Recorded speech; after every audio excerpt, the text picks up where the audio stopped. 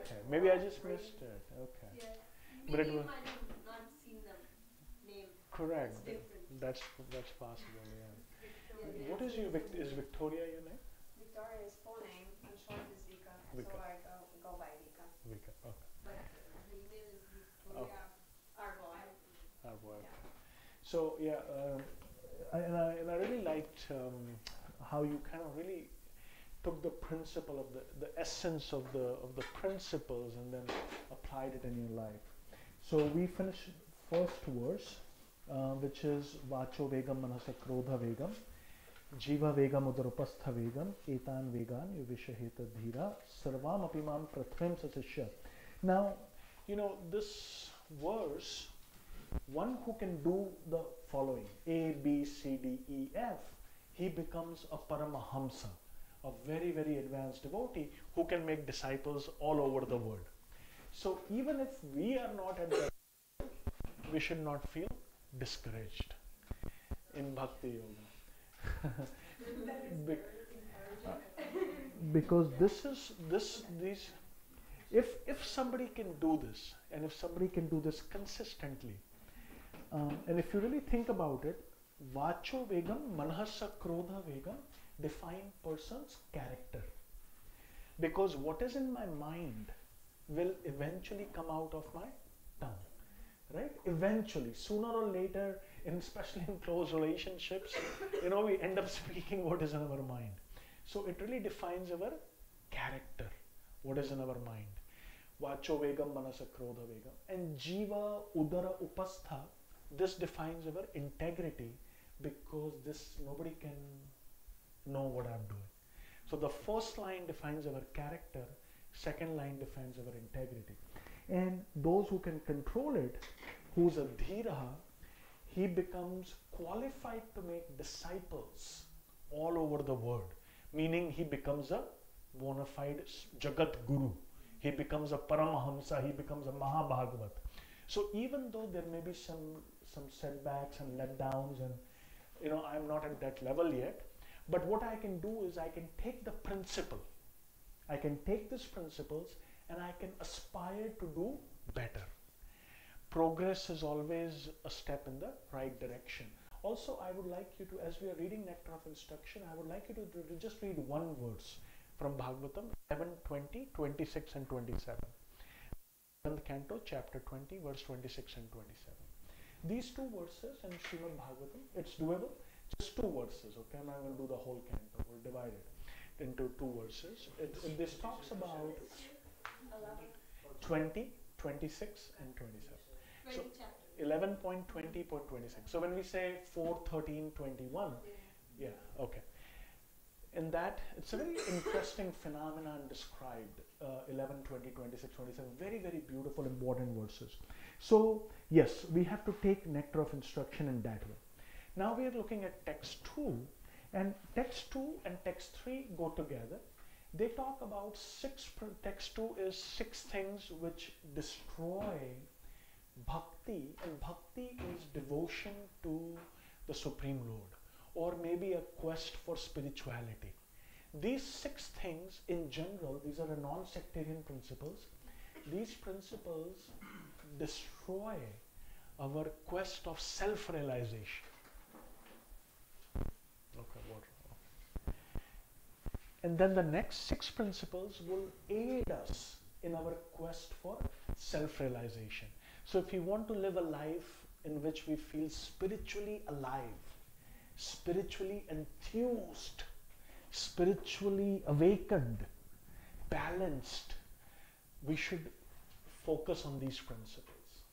And focus on these principles. Now, first one, first two go together. Things which do not help our, our spiritual life, they sort of tend to wake us, take us, veer us towards one extreme, which is eating more than necessary or collecting more funds than required.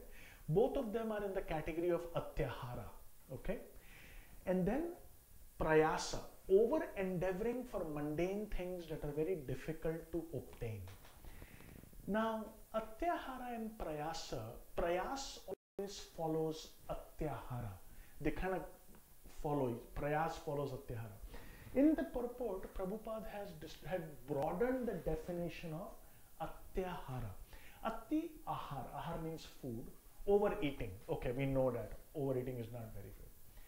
But also overindulging in any of the sense gratification is not very good.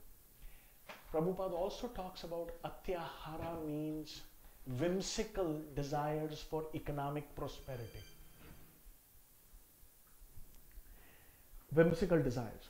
Now, what I liked about the purport, I'm going to summarize the purport for you. The first two paragraphs of purport are very, I would say, revolutionary. Why are they revolutionary? Eh, if you guys read it, did anything struck you from the first two, three paragraphs of this purport, of this verse? I guess to me it's like how the there is like internal, external, and marginal potencies, and then depending where like what do you what do you do like you, you belong to a certain uh, potency like it controls you.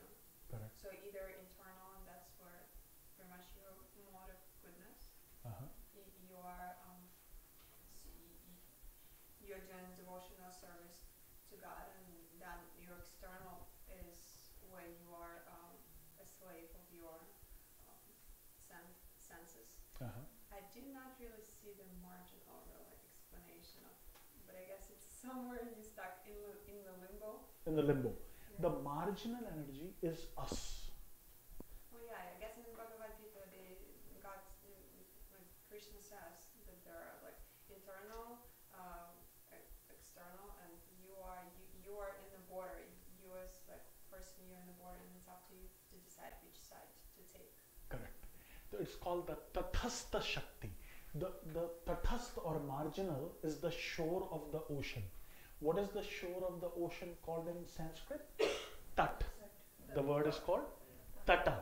And the wave comes and the wave recedes. Krishnera Tathastha Shakti. Bheda Abheda Prakash. So it's always Tat. It's it's always the, the, the, the that line that line tata it's always getting wet and it is always becoming dry and prabhupada writes a very interesting idea here of atyahara in the first three verses he explains that devotees or those who practice bhakti or take shelter of the internal potency of the lord by constant engagement by constant engagement in devotional service they do not have to work very hard. Did you saw that? They don't have to work very hard. The whole world is operating under the platform that we should work very hard. Mm-hmm. That we have to work very hard to be happy Prabhupada is saying something else here. That human life is not meant to working very hard. That the fundamental purpose of human life is to actually take shelter of the internal potency of the Lord. And that person doesn't have to work very hard. So Prabhupada is talking to one person. And he says that actually our whole platform is to become lazy. So the person says, what, what do you mean you have to become lazy? He says, see, you see rich people, they make a little house in the woods, in the jungle, and they enjoy there, don't they? Then he said, no, but Prabhupada, you know, five days a week we have to work hard. So Prabhupada said, you work hard five days of the week so you can relax the remaining two days. So what is ultimate purpose here? What is the ultimate goal? Is to relax. One time in LA, he's taking a morning walk on Monday by the Venice beach. All the cars are going round, round, round, round. Monday morning. And Prabhupada said, see, the reason they have to work so hard is because they're attached to he used the word sex life, but basically it's basically the whole material idea of civilization. He says, because I'm not attached to it, we don't have to work very hard. Krishna provides for everything. So this idea is that that it is a true idea that if a person genuinely takes shelter of the internal potency of the Lord, he can engage in Krishna consciousness. He can sit at one place and chant Hare Krishna. It is not necessary to work hard. It is not necessary to entangle or complicate one's life beyond a certain point. This is the idea I want you to walk out with. It is, it is an idea. He talks about whimsical material prosperity, factories, slaughterhouses, brothels. All of this is Atyahara. All of this is Atyahara.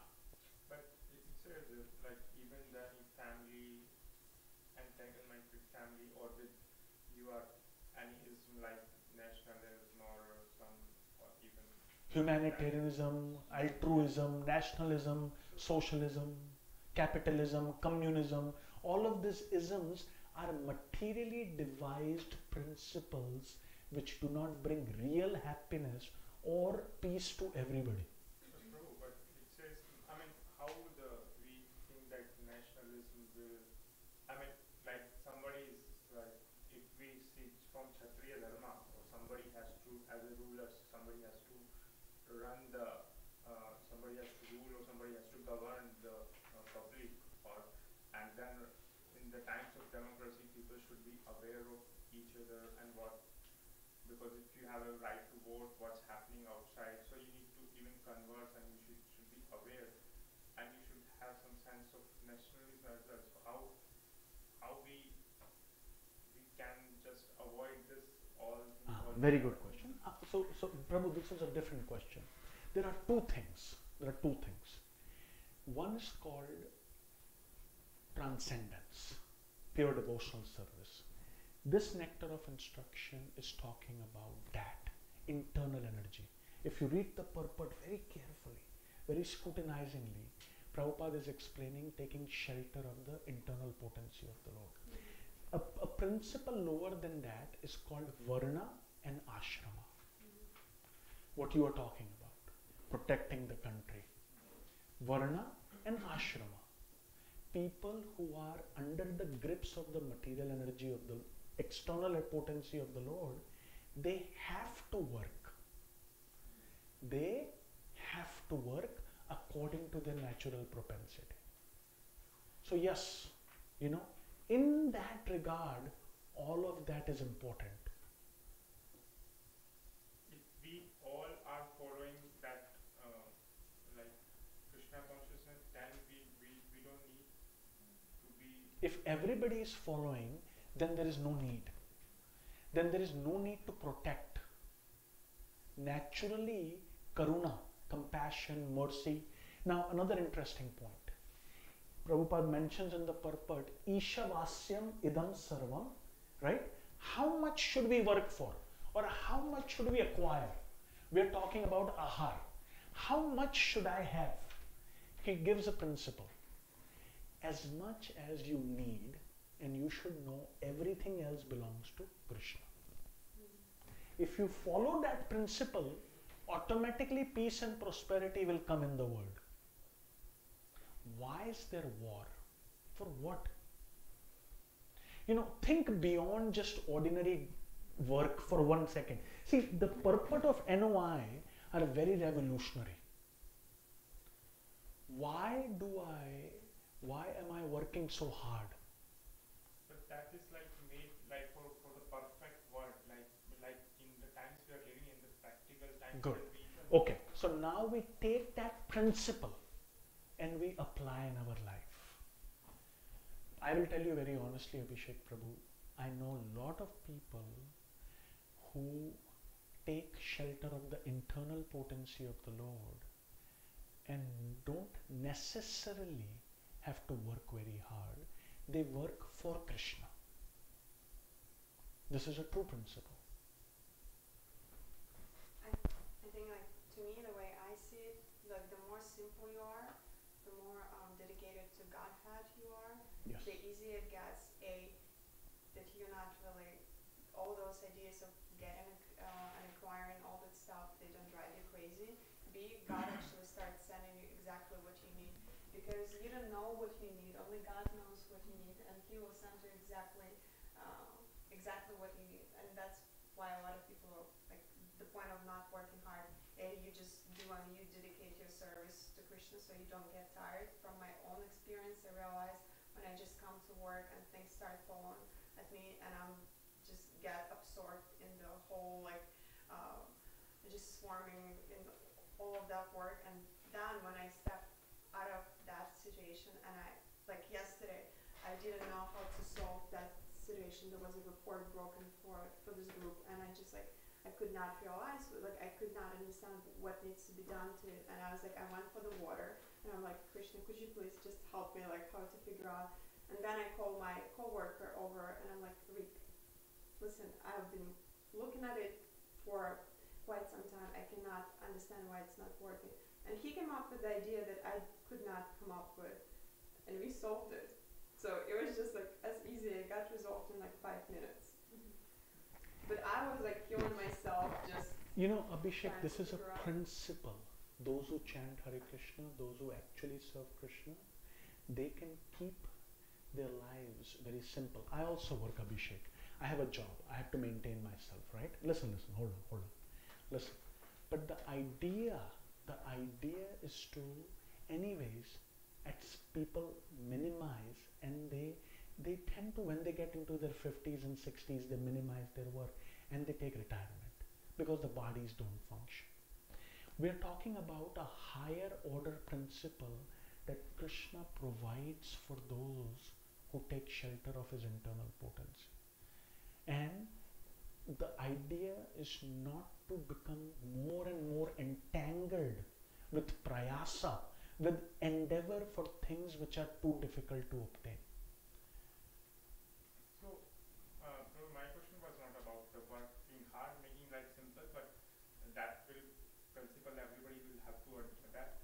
But like for individual, like suppose like uh, in the times where, like somebody will have to vote in the times of voting in the democracy. So you have to choose unless you are aware of outside what's happening and you do not make you not uh, choose the right person and you do not have the sense of nationalism or something. So you you might end up making the right uh, wrong people your ruler. Like the next generation comes and if they just live truly by this principle, so they might not be aware of at all because they will be completely disconnected from the world. Because I'm not saying that that that's I agree with the principle, that is for the perfect world. But the times we are living, how to make it how to make it practical in our lives because somebody either you will be completely disconnected from the outside world or you will be you might end up making the wrong decision That is what I'm saying, that you take the principle. I understand that you cannot be completely disconnected. But you understand this fundamental spiritual principle that the more one is disconnected from spiritual reality, mentally and physically, he becomes more entangled with the external material energy of the Lord. That is the principle. That is the principle. The more one is disconnected from the internal energy, he is more connected with external energy.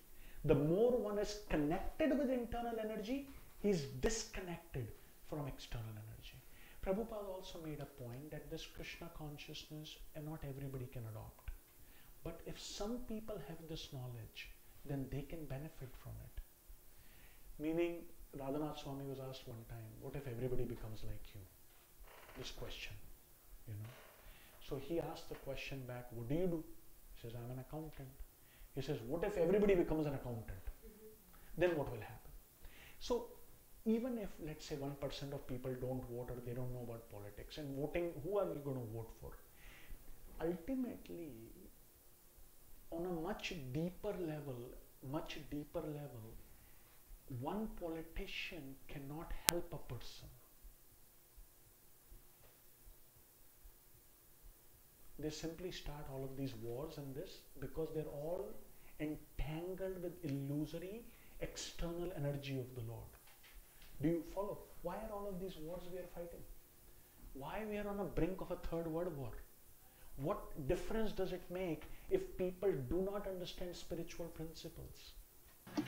So, if I want to follow these instructions truly, mm-hmm. so I mean honestly, if I am truly being honest to myself, then I will be like every day I will be more renounced, and I will end end up the way I, I see it.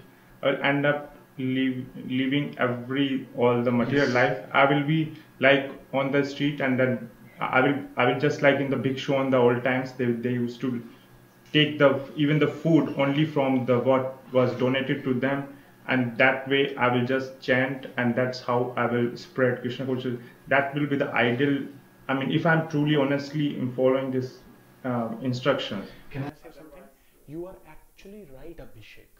You're absolutely right. However, if you are truly honest, and if that mode of living satisfies you and gives you happiness, then you should not be influenced by what the blind say.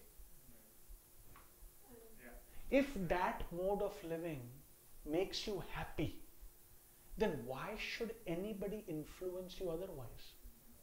And why have saints and sages all over the planet and even today, why do people leave everything? But it's not for everybody if you're going to really practice honesty. So, I see, I don't want to dilute the message here. This is a very, very important message here, which is being spoken in every every paragraph here. Because if I see, I mix up the things, and then I, because I try to apply some portion, some not portion, then I'm still always confused. One is theoretical knowledge and philosophical conviction. Other is this. I'm just going to try to make it work. Karma,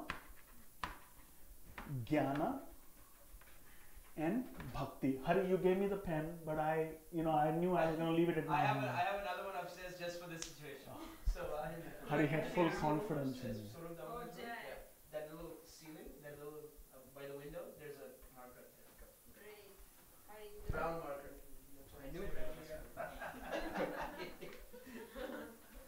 Like Srila Prabhupada even says that like he says that if one lives a hundred years, he should uh, spend 25 years in student life, 25 years in household life, 25 years in retired life, and 25 in the renounced order of life. So maybe because you belong to your first period of your 25, or maybe second period of your 20, like maybe like I don't know how old you are. Vaika made a like- good point. I'm going to make one more point. Vaika makes a good point. That 50 Vika, Vika, Vika, Vika, Vika, mm, not Vaika. I'm used to Vikings. How are you used to Vikings? She, she makes, she makes a good point. That's a joke, yeah. What association with So, so, so the idea is that 50 years they are anyway asking you to spend in retirement. And anyways, most people retire at the age of 60. Right? Whether you take a begging bowl in Govardhan or whether you are on a cruise, that's your choice. You're not working. For sure you're not working. Most people are not. Whether you are doing parikrama or whether you are doing good work. So this is important to understand. That's your choice. And that also is a mode of living which actually go to India. I go to all these holy places. In Haridwar, the, and I'm sure it's like that in every part of the world. I, have been told that the monasteries in Rome are full. They're full. The monastery in Kentucky is also full. So people do take up that kind of life. Hari was in New York, there are 12 or 13 people, all day they're just chanting and dancing on the street. So there are hundreds of people who are doing that. But, but, there is a but, important but there. In the young age, when we are less than 50, as we, we why? Vika, Vika me Victoria. Victoria, Victoria is easy. Victoria is easy. Karma, Jnana, Bhakti. If one is, is is on the platform of karma, one can have theoretical knowledge or philosophical conviction, but internally one may not find the mode of passion creates unlimited desires and longings, according to Gita. Mode of passion never lets us be satisfied with status quo. In mode of passion, only a job or a bank balance or money gives us security or a sense of self-worth. These are symptoms of passion. Karma, karma, jnana, bhakti. Karma means action. You have to work. You have to work. So you can be theoretically convinced by reading Nectar of Instruction or get some philosophical conviction. If internally one is not at the platform of jnana or bhakti, he cannot adopt that methodology right away.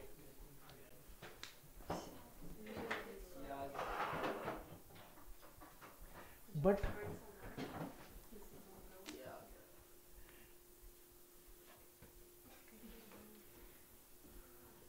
But even within the realm of karma, even while working, one can still adopt the principles of not doing atyahara and not doing prayasa and focus on deeper aspects of life until one comes to this platform of jnana that actually I am not this body, I am a spirit soul. When one has this realization that I am spirit, I am not this body, one does not have then to work hard. For person who's self-realized, there is no duty. Third chapter of Bhagavad Gita. There is no duty. Because he does not have any purpose to fulfill. When one doesn't feel that my sense of self-worth comes from this and this and this and this, when one does not have unlimited longings and desires, then one doesn't have to work extremely hard. His work takes on a different nature, which is self realization and also giving that knowledge to others. And then bhakti is again the topmost platform. So I want you to understand this principle and what Prabhupada is speaking in the in the purport here he talks about that these different kleshas, birth, old age, disease. We talked about being satisfied with simplicity, using what is ordained by Lord. Ishavasyam idam sarvam yat kincham jagatam jagat tena tyoktena bunjita magridha kasya Naturally, by practicing Krishna consciousness, one comes to a platform of simplicity. I should use what is required what is my need. Everything else belongs to Krishna and for his service. It, yeah. So Prabhu, um, how, how do we know what is what we need when when when something is enough? Because you know there's people that are millionaires but they're like, oh I don't have enough yet, or there's people that are very simple and they're like, this is enough for me. So how does one know like what is enough for them, what they need, what what they don't need? Everybody is different. But Archana, that's where chanting and attentive chanting comes into play. And everybody is different according to how they interact with the material energy around them. Where's the marker? Yeah, it's a microphone. Oh, Thank you. Well, thank you. You pass it around. I was recently in India, in a city called Surat. Who's committing suicide in Surat? The real estate builders because the real estate market crashed. So they cannot sell their buildings. So they are jumping from the building, they build, and they're committing suicide. They're committing suicide. Ashna asked a question, how do I know what is enough? It differs for different people. But, you know, there is no right or wrong answer to this question, Ashna. That's where spiritual practice and taking shelter of the internal energy of the Lord comes into play. When one does that, one finds out, you know, that this much is enough. Anything above that, I'm engaging in prayasa. I'm simply taxing my mind and I'm losing my balance.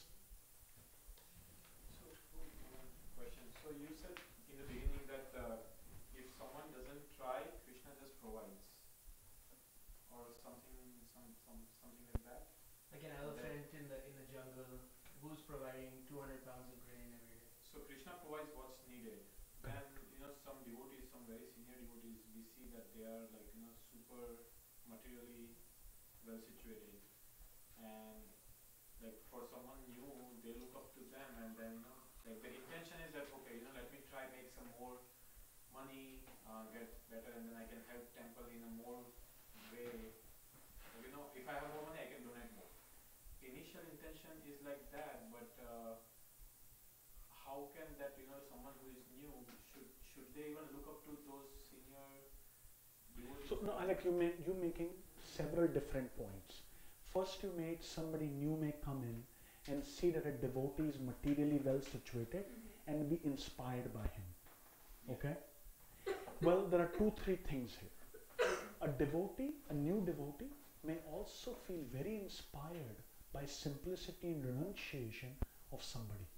It is not true that they are naturally inspired, but they may see that a devotee is well situated. He's doing his duties. He's also practicing bhakti yoga, meaning he's a good example of a life which is godly, God conscious. Plus, he's doing his material duties properly. It is never true that a genuine aspiring devotee will be inspired by somebody who has just a lot of money. You know, that may be his karma. You follow what I'm saying? And now you made another point about donating money or helping others.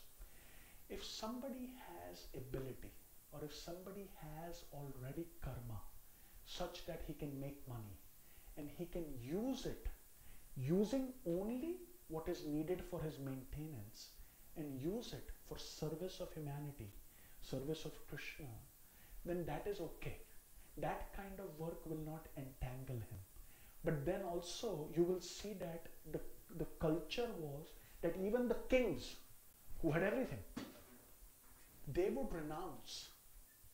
They would renounce. Bhagavatam Prabhupada quotes Jivasa Tattva Jigyasa Na is Chehak is Karma Bhi. So what Prabhupada is saying here is three things. One's occupational duty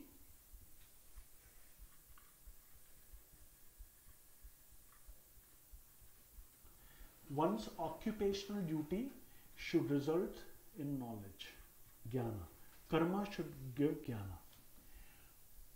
Religion, one who's practicing religion or spirituality, he should get liberation, not excessive material prosperity. That is not the goal. If you read the purport very carefully, in two pages, Prabhupada makes this point. People who practice religion for material prosperity, it's under the category of laulyam. Yes, it should lead to liberation or which is called nivritti.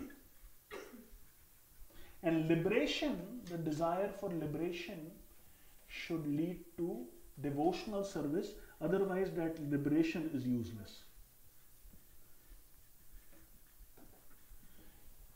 So, one's occupational duty should lead to knowledge, one's religious and spiritual activity should lead to liberation, and one's liberation should lead to devotional service, otherwise, this whole thing is useless. So if somebody's like, like perfectly sheltered in the Tatastha Shakti, if somebody is like uh, following a spiritual master who has taken the shelter of the of the Tas- Shakti, No, not taking shelter of Tathastha Shakti, but the internal the Shakti. internal of, of, Huh. yeah. So if uh, oh yeah, the antar an, antaranga Shakti. Correct. So but so they can use millions of dollars uh, like of the like of the external energy, the bahi- bahiranga Shakti, to engage more people in, in the in the internal policy. They like do you can like some some millionaires like they have they have sufficient detachment that they can say that I'm like not detached. Like some some the people in Mumbai like million millionaires. Warren Buffett. Well, uh, I don't know about I don't know about Warren Buffett, but if they're properly serving their spiritual master, then they can have that detachment. So there's no problem with having the million dollars. It's just the question of are you really under under under the bona fide spiritual master? You know. That is correct. Hari, generally, wealth brings its its own issues. Yeah. However, I mean, you know, wealth really destabilizes a lot of people.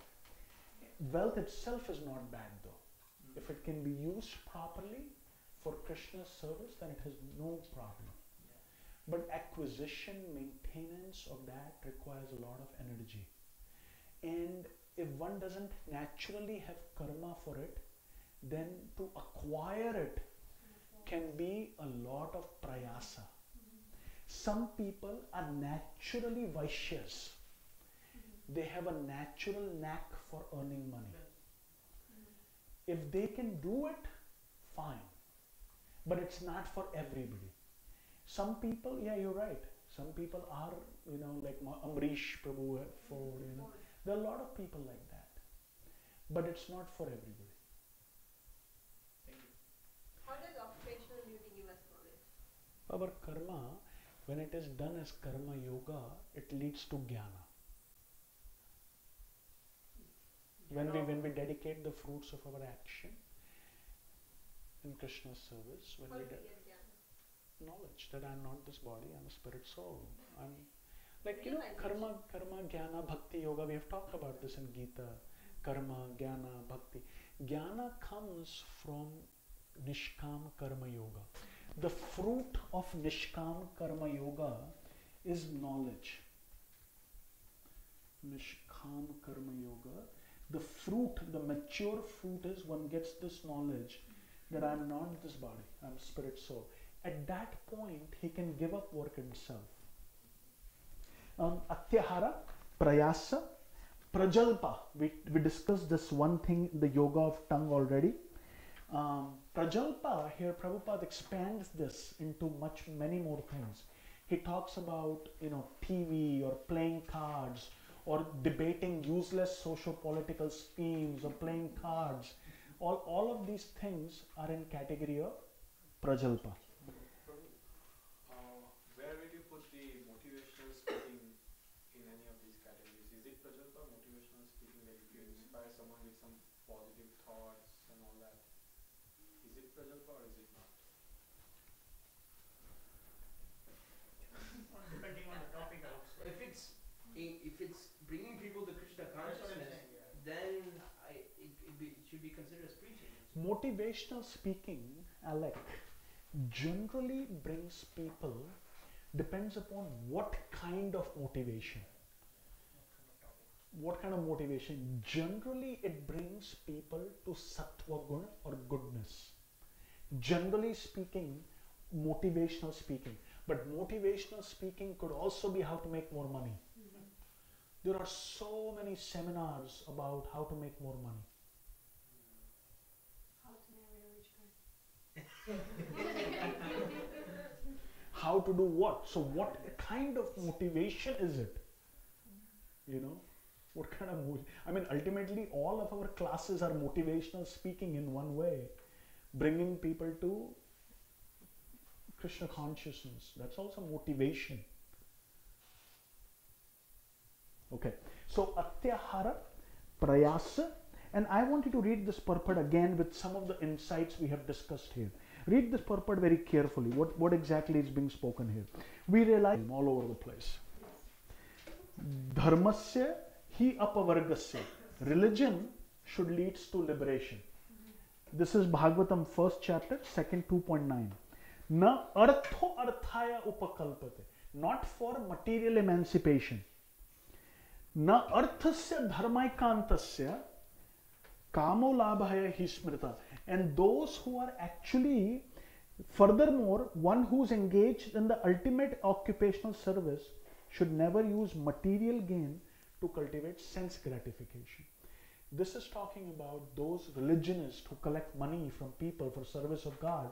They should never use that money for personal sense gratification. Okay.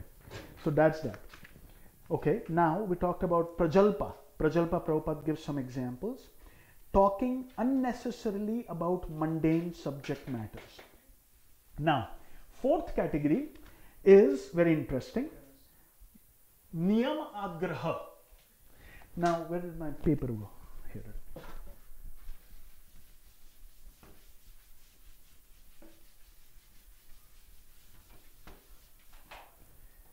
This idea of Niyamagraha and Niyamagraha. So, Niyam means rules.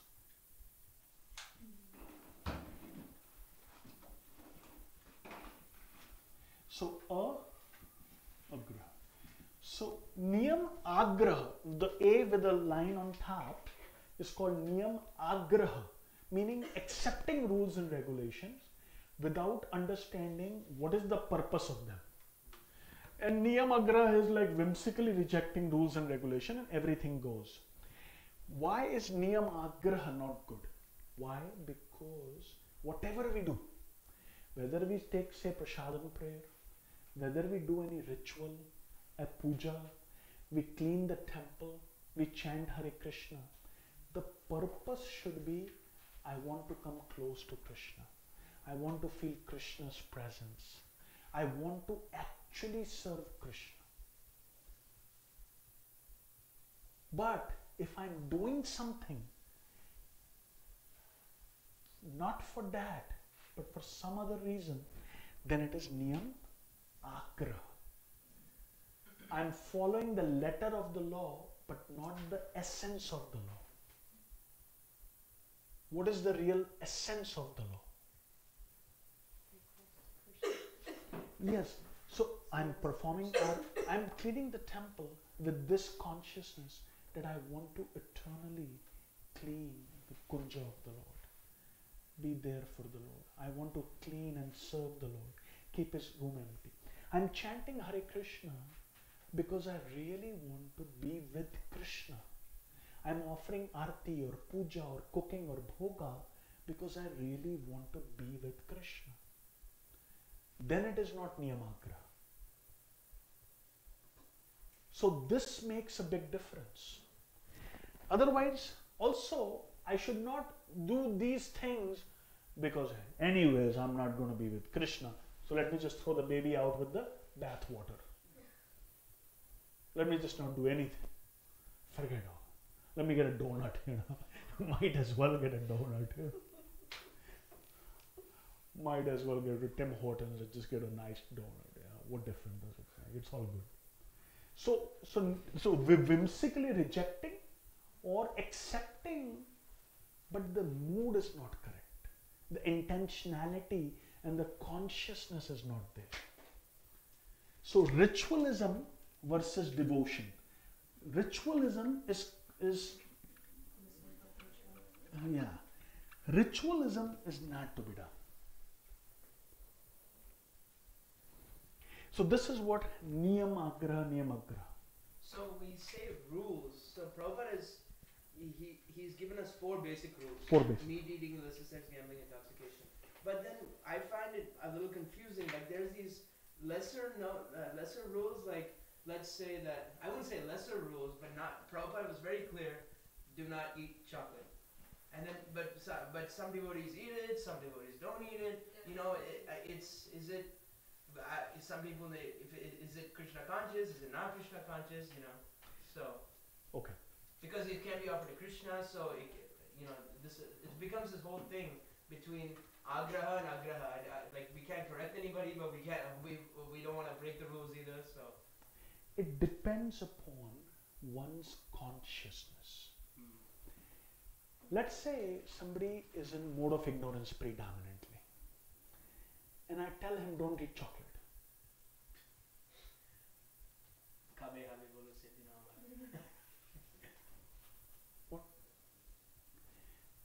If somebody is in real transcendental goodness, then you could put the rules. And you give him a chocolate milkshake to drink, it's not going to be good for him. Prabhupada's, so ultimately what I understand is Hari after this 20 years is that there is only one rule is to always remember Krishna and to never forget him. All the rules and regulations are subservient to this. So this is actually a Vedic aphorism. You know स्मर्तव्यो सततम विष्णु अस्मर्त्यो न जातु चित सर्व विधि निषेध राजन एतम एव यो so remember Krishna so this is actually Vedas is saying that 24 hours always remember Krishna and never forget Krishna And whatever rules plus regulations are, they should serve this overriding principle. What can help remember people remember Krishna? So a music, a devotee, a devotee who plays music, goes to a concert, writes up his own song on Bhagavad Gita, and sings in like an hard rock where everybody's drunk and everybody's on drugs. He just did this. What difference does it make if chocolate or onion and garlic in that situation? Does it make any difference? So there is a devotee, Dayal Neta in Cleveland. He has a band. It's called, uh, it's called, uh, I forgot, Don Foos. Don Foos. You can look him up. You can look him up. He's like, you know, the top 10 most famous Hare Krishna devotees in the world. He's like a punk rock, the metal rock, the hard rock, you know. When he's playing, everybody's drunk and everybody's on drugs. But he writes songs from Bhagavad Gita and play it. So now thousands of people are, are, are, are aware of Bhagavad Gita. Go ahead. In other words, they're not like these people are not coming because uh, to get their like drug uh, and uh, drug. They come here, come there already because that's who they are. But at least they get a chance to hear like music about from Hare and maybe maybe that's gonna impact them and they actually can benefit and progress from where they are now. So my, my basic question was, if it's directly breaking one of the four regular principles, like if I say that I can see Krishna in the beefsteak. Okay, no, no, hold on. So write down four regulated. No meat eating, Yeah. no gambling, intoxication, and illicit sex. Okay. All right. Not directly breaking regulated concepts. Prabhupada writes in the eighth canto of Bhagavatam. Eighth canto of Bhagavatam, I forgot which verse, I was reading in Govardhan, that in terms of meat eating, only thing which is absolutely prohibited is killing of a cow. Humanity can never come to a platform of total vegetarianism. Hmm. It's just not going to be possible. Prabhupada says, according to time, place, and circumstances, Krishna can make concessions for devotees who want to eat lesser animals. But cow and bull killing is always sinful. So, yes, you may not be able to see Krishna in that cow situation, but there is a lot of, in Prabhupada speaking in Journey of Self Discovery, page 173, Pa- Prabhupada is speaking in New Orleans. And all of these are farmers down south. And you know, 1960s down south. I mean, basically they live on beef. So Prabhupada said that you want to eat, you can eat meat, but don't eat cow. Then he saw that you know people didn't really like it. So he said, okay, you want to eat cow, let the cow die naturally. And then you can eat it. Let the cow die naturally, don't kill. So Krishna and the beef stick. Hmm. But these are, but this not like proper. This is for like the, the Shudra level, right? But this is for Yes. Brahmana consciousness. We Correct. get. Correct. Let's It depends in the- upon consciousness. In the realm of our International Society for Krishna Consciousness, Yes. like we cannot say that, oh yeah, you're a Shudra, so you can you can eat beef. You can eat beef. We can say that if we uh, properly establish Varnashram, but we don't have like a Shudra initiation or anything. Generally speaking, in Kali Yuga, because of the availability of food, when there is no necessity, when there is no necessity, people who are cultivating a spiritual consciousness should not eat food which is full of violence. The principle is that.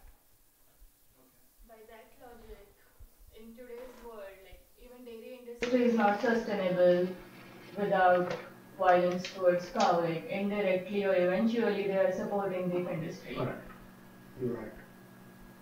So practically, how is it So possible? practically, practically, we should all go vegan. That's the only solution to not support this. And a lot of devotees are, you know, it's it's a discussion which is on the forefront of a lot of people who are trying to practice self realization. That is this something which is even ethical to do? And this is a big question. It's a big question mark. Until we establish like these farm communities, do the cow, cow and The GBC made a rule, the, our highest leadership made a rule by 2022. They do not want Deities. They only want Deities to be served ahimsa milk. They made a law. By 2022, in all of our temples, we want Krishna to be only served ahimsa milk. Talking to your point. Now, they can't legislate the behavior of each and every devotee. That's why they made this rule. If they could, th- what they're saying is drink ahimsa milk. Lot of our sannyasis, gurus, they ask for ahimsa milk. Some scientists have predicted by 2026, last I had heard, the entire world must go vegan, otherwise it's just not sustainable. Is not Several sustainable. Reasons. The way it is, Climate yeah. change, like lots of. Right. So atyahara prayasascha. So Hari, your question about chocolate, you know, Yeah, I was just wondering Yeah. because it's uh, weird. I guess what you kind of answer, what I understood from your answer is that many different types of people come to Krishna consciousness. Some people would like to just follow the four regular pri- principles, chant 16 rounds, and then That's just they, do, that's it. They want to do their business. But some people want to read the books, follow, get serious. So pe- people in different consciousness come to Krishna consciousness, and then so Yeah. and they're reciprocated accordingly. Is that kind Correct. of the they should determine what modes of nature and what modes of function is best for them. Okay. You know, it's not an absolute, like for example, no illicit sex. The way Prabhupada writes, it's clearly sex for procreation and everything else is illicit. Many spiritual masters in ISKCON during initiation, I was in initiation in the Dumna Swami, he said, no illicit sex, which means sex outside marriage. So here's another concession. Many teachers and many spiritual masters do openly engage and and uh, and um appreciate LGBTQ people in, in monogamous relationships. That's another in monogamous. Don't make faces in monogamous relationships. They say they say that you can you can do whatever you like, but try to limit it as much as possible. They're doing service to them because it's impossible. Celibacy in the prakriti today, the food, the water, the air, the culture, the environment, everything is contaminated. So they say it is it is okay as long as you're monogamous. And then, well, I, I guess for the sleepwalkers, they're born that way because they did something wrong, like in their previous lives. Like I've heard from Russian saying that it's like because you are um, not kind of like following, not fulfilling your duties in uh, in one like, life. That's when you like born first. You're born like as a woman, but you're born with like kind of like man propensity, and then in the following life, if you don't fix it, that's when you're born like and you're attracted to the same sex but they they're still souls. They still want to go back. So why? Yeah. What discriminates, yeah. Prabhu, regarding ahimsa milk, possible that how, how are they able to like you know have that much of this thing because with so many this thing you mean are they establishing fa- farms? That's the idea. The idea is either you get it from a closer farm or stuff like that. you. Yeah. Okay. So we discussed Niyamagraha. Jana Sangasa. Jana Sangha. Sangha is important here also. Sangha we talked about a little bit. Sangha Prabhupada explains we should not associate with karmis, jnanis or yogis. And he says that this is all like atyahara. When we say Sangha means taking influence. Taking influence. Work relationships, relationships which happen casually, they are not Sangha. But if I start reading somebody's books and you know, you know, sometimes I read Mayavadi books and I become really influenced by that, then I'm taking Sangha. If I'm watching TV and excessively and I'm really become attracted to people, you know, then I'm taking Sangha. So, so Atyahara Prayasasya, Prajalpanyamagraha, Jana Sangasya Laulyamcha, greed. Greed for excessive material prosperity. Prabhupada makes a point about religion brings dharma artha kama moksha but that's not the purpose of religion. Religious people attract you know good things in life but that's not the real purpose. So this kind of whimsical dharma which attracts uh, money is called laulyam these things destroy bhakti. Shadbhir bhakti vinashyati Abhishek, did you got any clarification from my answer? Did that make any sense? Yeah, but I, I will later I will discuss because there is a lot. Yeah, let's discuss that later. Okay.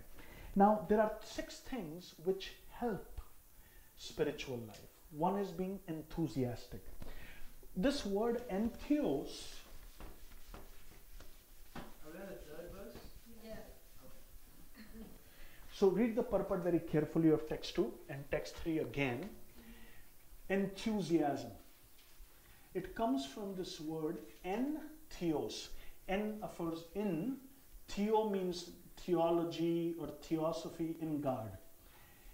This idea of being enthusiastic about something actually means that it's an emotion which is coming from God.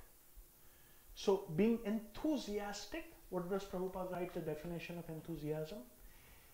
Acting in Krishna consciousness with intelligence is called enthusiasm. So it's different from passion. It's different from passion. It's different from passion. Then it's an action. Right. Why is it called action? Now, somebody may think that devotional service means just sitting down and meditating or chanting Hare Krishna. Prabhupada says no. Devotional service means acting for the pleasure of Krishna. Yes, we should chant as much as we can. But what did Prabhupada did if when he came to New York? He's going to the park, playing the drum, writing books, translating books, distributing books from library to library, meeting people, organizing programs, speaking about Krishna, like that. So that's activity.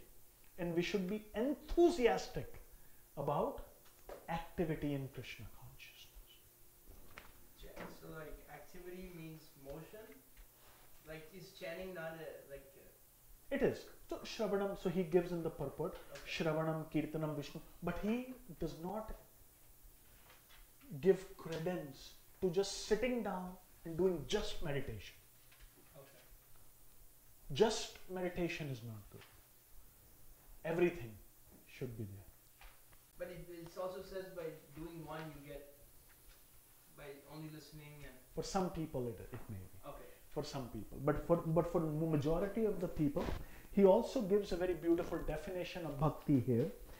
Anya bhilashita shunyam jnana karma. So in the purport, I am reading purport, page twenty-seven.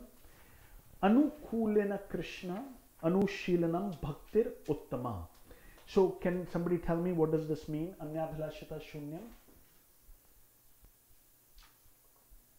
So page 27, purport, the, the Sanskrit verse I just read, the definition of devotional service. So Abhilasha is a definition, ah, sorry, desire is an zero. Zero, zero. Zero Desire. desires. One should not have any other desire than to please Krishna. Our activity, what should be our desire? To please Krishna. That's where you become free from passion. Charuta, when activity is done with a desire to please Krishna, that's where we go beyond passion and come to goodness. It's not just for my, you know, frantic, you know, it's not frantically done for some sort of ideal I want to accomplish, but it is to please. Anyabilash shunyam jnana karma adi. It is not covered over by jnana and karma. Can you give me an example of what devotional service would look like if it is covered over by karma? You just want to get something done because you want, like, I want a car, and therefore I'm gonna chant Hare Krishna so Krishna can give me a car. Okay, so having an ulterior motive. I want something. That's one example. What other examples would look like that devotional service is covered over by karma? I don't know if this would be an example, but uh, Prabhupada is mentioning the first verse, the by doing sinful activities and then chanting Hare Krishna. Atonement. Oh, that's like the biggest advance. Yeah. Atonement. Atonement. Yeah, that will be also an example that I continue to pursue my material desires, material attachments, thinking that my chanting will nullify it. My devotional service is now covered over by karma. What other examples? Good point, Hari. Very good point. I would say uh, there's there wouldn't be any real motivation because if it's just for an ulterior motive, once that's satisfied, you won't have motivation to. Once the motivation is satisfied, I my devotional service becomes laxed. That means my devotional service was covered over by karma. Good point. Outright material motivation, after material motivation, no inspiration to continue in bhakti. Continuing bhakti, but also maintaining my material attachments, thinking they will be nullified, are all examples. Other examples of devotional service being covered over by karma. Oh, wanting uh, like name, saying, oh, I did this. name, fame, all of this, you know, you know, my my glory for bhakti. Okay, very good. Other examples. How about something is not going good in my job, and I leave Krishna and I go to, you know, maybe I should wear a stone, maybe I should wear a ring, maybe I should do some kind of puja, maybe I should do something auspicious things. Would this be an example of devotional service being covered over by karma, by fruitive activity, by a fruitive desire? So even the purest things, like if somebody's like, the same example, if somebody has problem with their job, and then they say, I want to do parikrama of the temple. Hmm. That's also, that's No, a process of bhakti, but, but they have some motive. I want to offer a damo to them because I want all those sins to go up. Okay, for example, I am losing my job, but I pray to Krishna to keep my job. Because Krishna, I need my job in this station of my life to be stable and well situated to offer bhakti. That is not devotional service being covered over. But Krishna, if this job is not coming, I'm not coming back here. or if I lose my job, it is because you know just that this whole system doesn't work. Then it is covered over by karma. Yeah. Is it covered over or is it something I need to engage in bhakti so that my mind is peaceful? Mental stability is required for chanting and for dancing and for help serving Krishna. Krishna, I need this for my mental stability. Not too much. You know, I don't need a Mercedes Benz to, for my mental stability. you know, that would not be a good example. But I probably need a job. Most people need a, a source of economic sustenance. Some devotees may ask for a life partner. Krishna, at this point in my life, I feel I need a, a, a, a conducive life partner to engage in bhakti yoga. Asking Krishna for things which will help us serve Krishna is not necessarily covering devotional service. There may be a little mixture there, of course, it's not pure, but you know, like that. Some people live in difficult marriages and relationships just because they realize that you know they will not be peaceful you know without that. It's not that their bhakti is covered over. That it's like there's maybe a some mixture there but it's not necessarily covered over. Covering means bhakti is less important. Other things are more important. One example is given is should a devotee go to funeral of a relative. Prabhupada explains that if a devotee just chant Hare Krishna he will do much better service to that relative but then people will become antagonistic. So he may go and he may do certain things just to satisfy people around him so that they are favorable to bhakti and they don't criticize him. His bhakti is not getting covered over. But if he thinks if i don't do this ritualistic activity my devotion is finished or this will have no meaning if i don't do this then there is a there is a covering. So there's a difference between covering, avratam, versus other ideas. There could be a small mixture sometimes. It's not necessarily a covering. It is something which a devotee can honestly acknowledge. Or sometimes a devotee do certain things because overall arching goal is that people will become more favorable to Krishna. Oh, but could you develop a little bit more on that last point that if you go to the funeral and you believe that if you don't do uh, that specific like service and you know the people against and you know that after that your like all your service doesn't make any sense. I don't really get how It it's sounded like ritualism to me like, when you said because to me like it, uh, like if to the point that I want to go like I need I feel like I have a strong necessity to present this service because otherwise like I'm breaking my like principles and my like understanding and what I believe in and I go and I do despite um, despite these other people how is it covering